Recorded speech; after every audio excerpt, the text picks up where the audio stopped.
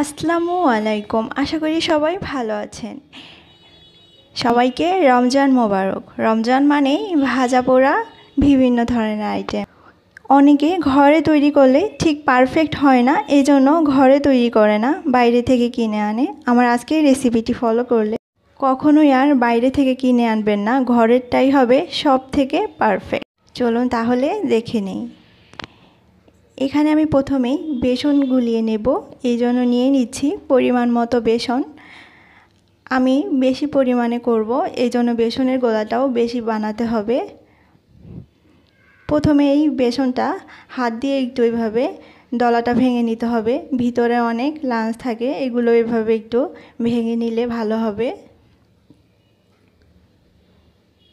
তো এবার আমার যেটা করতে হবে, আমি যেই তেলে এগুলি ভাজবো, এই তেলটা চুলায় দিয়েছি আর এই এই গরম তেল এক দেড় টেবিল চামচের মতো তেল আমি এই বেসনের মধ্যে দিয়ে দিচ্ছি।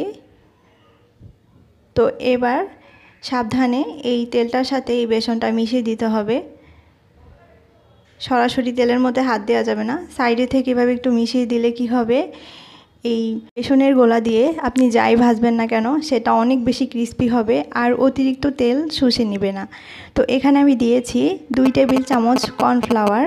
কর্নফ্লাওয়ার বদলে চালের গুঁড়াও দিতে পারেন। আর এবার দিয়ে দিচ্ছি এক চা চামচ বেকিং সোডা। আর দিয়ে দিয়েছি স্বাদ মতো লবণ। এবার যেটা দিতে হবে সেটা হচ্ছে এক চা চামচ হলুদ গুঁড়া। তো হলুদ গুঁড়া দেওয়ার পরে এই শুকনো উপকরণগুলি হাত দিয়ে একটু মিশিয়ে নিব। আর এবার দিয়ে দিতে হবে নর্মাল যে পানি। পানিটা একবারে দেওয়া যাবে না। এভাবে হাত দিয়ে করলে ডোটা খুব ভালোভাবে কিন্তু করা যায় চামচ দিয়ে করার থেকে।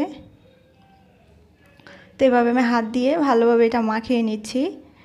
খুব ভালোভাবে মাখাতে হবে যেন ভিতরে কোনো লাঞ্চ না থাকে। কোনো দলা যেন না থাকে, এটা লক্ষ্য রাখতে হবে। খুব ভালোভাবে মাখাতে হবে। আর এই ব্যাটারটা হবে অনেক বেশি ঘন না, আর পাতলা তো হবেই না। মোটামুটি ঘন, এরকম যেন একটা বেগুনি বা একটা চামচ যে আমি দিয়েছি, এই চামচটার গায়ে এটা ভালোভাবে লেগে রয়েছে। কিন্তু অনেক বেশি ঘন হওয়া যাবে না। এটা এরকম থাকবে, দেখতে পাচ্ছেন এটার কনসেন্টেন্সিটা তো এটা যখন আমি রেখে দিব আরও দশ পনেরো মিনিট, এটা কিন্তু আরও অনেক বেশি ঘন হয়ে যাবে।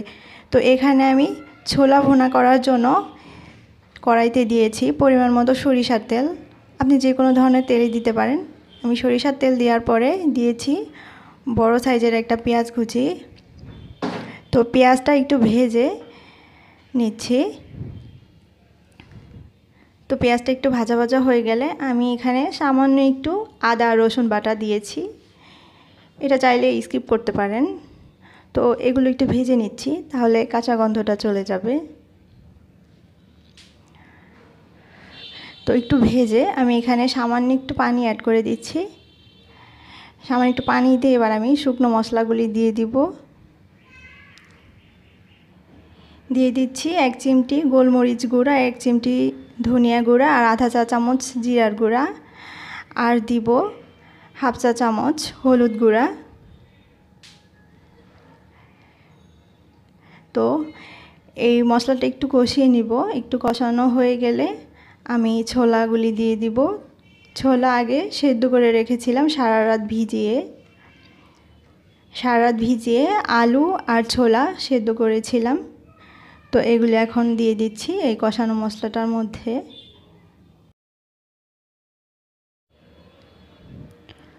তো আমি যতটুকু পরিমাণে ছোলা ভুনা করব ততটুকু পরিমাণে দিয়েছি। আর এই সেদ্ধ করার সময় ছোলার মধ্যে আমি লবণ দিয়েছিলাম, তাই আগে থেকেই লবণ দেওয়া যাবে না। পরে প্রয়োজন মনে হলে সামান্য একটু দেওয়া যেতে পারে।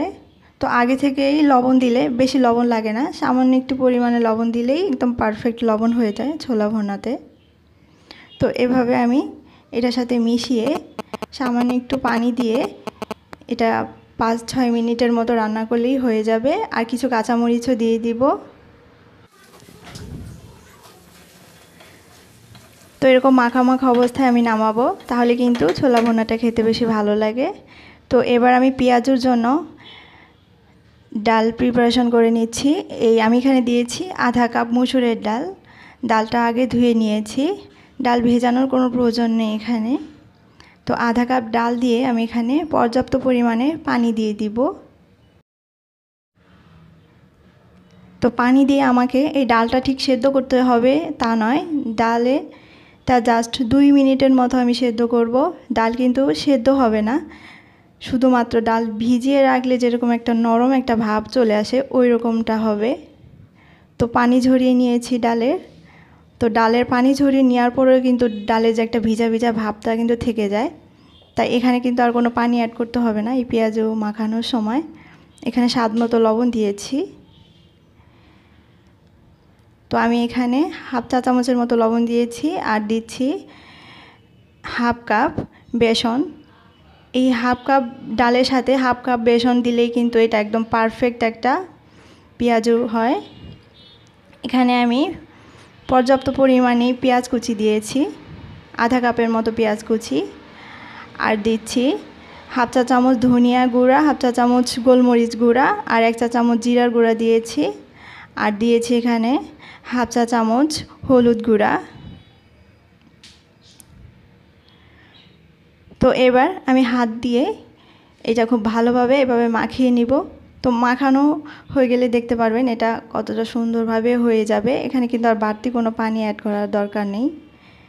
এই যে দেখতে পাচ্ছেন, এরকম এটা থেকে কিন্তু খুব সহজেই একটা পেঁয়াজও শেপ দেওয়া যাচ্ছে। তো এটা আমি এখন সাইডে রেখে দিচ্ছি। আর এই যে আমি এখানে বেগুনের জন্য বেগুনি কেটে নিয়েছি। খুব বেশি পাতলা করিনি। বাজারে তো অনেক বেশি পাতলা করে যে ভিতরে কিন্তু বেগুনির অস্তিত্বই পাওয়া যায় না এরকম পাতলা করে ফেলে। এই যে এখানে তিন চার টুকরা আলু আমি সেদ্ধ করে ম্যাশ করে রেখেছি। আর এবার আমি কিছু শুকনো মরিচ পুড়িয়ে একটু লবণ দিয়ে এভাবে ভেঙে নিচ্ছি। আরেকটা ব্যাপার হচ্ছে আমি এই যে যে বেগুনগুলি কেটেছি, এই বেগুনের মধ্যে একটু লবণও মাখিয়ে রেখেছি। এতে কি হবে? ভিতরে লবণটা ঢুকবে আর এটা কালচে হয়ে যাবে না। তো আলুর চপের জন্য আমি এই যে এখন পেঁয়াজ আর আলু আর এই যে স্বাদ মতো লবণ আর মরিচ দিয়ে মাখিয়ে নিচ্ছি। আর একটু সরিষার তেলও দিয়ে দিচ্ছি। সরিষার তেলের দিলে কি হয়? ভিতরে অনেক ভালো একটা স্মেল আসে সরিষার তেলের। তো আলু সেদ্ধর সময় আমি লবণ দিয়েছিলাম। এই জন্য বেশি লবণ লাগেনি, সামান্য একটু লবণ দিয়েছি। আপনি এখানে চাইলে কাঁচামরিচও ব্যবহার করতে পারেন এবং ধনিয়া পাতাও ব্যবহার করতে পারেন। তো এবার ভাজা ভাজির পালা। তো একটা বেগুন নিয়ে এভাবে বেসনের গোলার মধ্যে দিয়ে এক্সট্রা এক্সট্রা বেসনটা ঝরিয়ে রেখে তেলের মধ্যে দিলেই কিন্তু এটা খুব ইজিলি ফুলে উঠবে। দেখতে পাচ্ছেন? এভাবে আমি সবগুলি বেগুনি ভেজে নিব। বেসনের গোলাটা কিন্তু আমি অনেক বেশি ঘন করিনি, আবার পাতলাও করিনি। পারফেক্ট যদি গোলাটা হয়, তাহলে কিন্তু বেগুনি ভাজতে কিন্তু কোনোই ঝামেলা হবে না। তেলে দিলেই কিন্তু এটা খুব সুন্দরভাবেই ফুলে উঠবে।